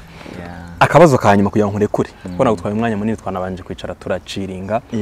Ah, mu buzima bwawe. Ni iki kigutera imbaraga? Iyo utekereje ubuzima bwose urugendo rwose mbonye yakoze bigoye ariko uyu munsi akaba ari mbonye dukunda akaba ari mbonye w'abantu akaba ari mbonye ukurikiwe bingana gutya. Ubwo ni nk'iki ubwo buzima buba bakigisha muri rusange? Kuko isomo ry'ubuzima bushize nari kubajije ku kantu ni sawa kabisa. Buriya reka eh, njye mbivuge mu magambo makeya pe yanoroheje njyewe ikintu cya mbere kinteye imbaraga ni ukumenya ko ni ukwibuka aho natangiriye Mm. hariho n'aho ngeze. Biratandukanye. Completely. Hari indirimbo mfite ivuga ngo yaratwimanye. Mm. hari ahantu mvuga ngo n'ikimenyimenyi. Ndi kure cyane y'aho natangiriye Mm. ni ukuvuga ngo ahantu ndi ndi kure cyane cyane y'aho nari natangiriye rero ngiye iyo mbirebye nshima imana ndavuga imana. Ni ukuvuga ngo n'aha ndi mu myaka ingahe iri imbere? Nzaba ndi kure yaho cyane. Mm. rero niyo mpamvu mpita numva ngize intege mpita nshima imana nkavuga imana ishimwe ko ahangaha ndi atariho nari nkiri. Kubera ko hari ukuntu ah, ikintu gite- giteye abantu depression muri iyi minsi ni ukurota yabaye nka perezida ataranarangiza n'ishuri wenda. Akiri nko muri segonderi. primaire. Mm. agahita yumva arashaka kuba perezida atarageza n'imyaka ni cumi n'umunani. Mm. agahita deprima rero njyewe namenye ko ubuzima ari process si iyo process rero ngomba kuyizera. Ahubwo reka ngende agatambwe ku kandi agatambwe ku kandi. Bihita bintera imbaraga iyo nibutse ko aho nari atariho nkiri bihita bintera imbaraga ikibazo ni ukubaho utamuvinga ni ukubaho udatera ikindi rero kintera imbaraga ari na cyo twavuze ubu se nsetse iki koko nk'uko byaragwe ntaramenya ibyo ari byo wavuga dusetse iki nta na kimwe nose nakubwira ngo aho nari naje hano nta bwanwa ndamera uyu munsi mfite ubwanwa ubu si bwumva bijya bihinduka bijya bihinda Eh. ariko rata ikindi cya nyuma kinera imbaraga ni umuntu ukunda kwisekera. Njyewe ibintu mbona bitarimo ibitwenge ndahunga Mm. nkigendera. Kubera ko birimo imijinya ni eh, niyo umuntu ampamagaye yambwira ndagushaka ndagushaka. Ndabwira wowe ntabwo tuvuze ko numva ntari ntari simpari simpari simpari bisi ariko iyo umuntu ambwiye tuganire. Ari kuyitera sitori tugaseka njye nda- ndaboneka Mm. ibintu biri seri ubuzima buri buri fragile. Mm. buroroshye ku buryo iyo ugize seri cyane ura- urababara upfa vuba. Njyewe ibintu byose rero nshakamo ikintu gisekeje nshakamo ikintu kintera umunezero. Niko nimereye reka dushimire israel mbonyi ah, umuhanzi w'isi umuhanzi w'abantu umuhanzi w'imana. Kuba nkuvuze ko uri umuhanzi w'isi ntabwo mvuze yuko uri umuhanzi ukora iby'isi uri umuhanzi wa- w'abantu bari ku isi. Ubwo ndavuga abanyarwanda abarundi abanyamurenge. Umuntu uvuga ikinyarwanda akaba agerwaho n'umuziki wa mbonyi. Hari n'abatavuga ikinyarwanda umuziki wagezeho oh, kure cyane. Ndashaka kumubwira yuko dukwiye gushimira mbonyi no kumushyigikira. Biciye muri bwa buryo nababwiye kujya mu bitaramo bye kugura amarubumu ye kugura indirimbo ze kugira icyo ukora uzi neza ufite kugira ngo akomeze agire imbaraga kugira ngo akomeze akore aka kazi gatuma twishima gatuma ah, turyoherwa tubana n'imana dusabana na yo tuyishimira tuyisingiza. Biciye mu muziki. We mbonye wakoze cyane. Mbashimire uzagira urugendo rwiza. turagukunda. Mhm. Mwakoze cyane kudutumira twadurukanye kera Mm. turabashimiye. Tuzasubira ku munsi w'ubukwe yego. Abantu bajya badukurikira Mm. murabizi nkunda kwiganirira. Iyo muzi ibintu ari- mba ngira ngo twisekere tuganire. So um, hari ibyo tuvuga biri seriye ariko hari n'ibyo tuganira. Nk'ukuntu nawe mbaza ibibazo ndabizi ushaka kuganira. Tukaganira nyine duseka. Rero abantu b'abarokore hari ukuntu be expectinga ko wenda bagufata nk'umuntu uri ugomba kuba ufite bibure gusa nta kindi kintu oya isi tugomba kuyikandagira tukayihamya reka twumve ubuzima turimo. So Mm. rero njyewe eh, nkunda kuganira nkunda guseka. Nabibabwiye ikintu nkunda kiruta ibindi? Mm. ni ugutwenga ni uguseka. Rero abantu batwumva badukurikira iyo mpositinze ikintu gisekeje useka nta kibazo. Niba Mm. washyiraho komenti nawe tugaseka ntacyo bitwaye. Mm. so rero ibindi mani baha umugisha ndashimira abantu bose badufollowinga badukurikira bajya badusapotinga indirimbo zanjye bakazireba kuri youtube ni ukuri mani baha umugisha pe. Bagasharinga amalinki y'indirimbo zanjye bakagura album. Abo bantu muraba agaciro mutuma ibintu dukora dukomeza tubikora n'umwete. Ndabashimira cyane. N'inama zanyu tuba tuzikeneye aho tutagenze neza Mm. Eh, ukajya mu gikari ukatubwira nta kibazo nta kibazo isimbi rero tv turabashimiye sabe Mm. thank you so much kutu- kututumira abantu bo mu burayi turaje turiteguye turaje. Tuzana timu nanjye ndimerega. Nawe uri mu Cyane. yezi na isimbi turaje. Turaje. so god bless you. Nanjye ndashimiye kuba wakoze cyane.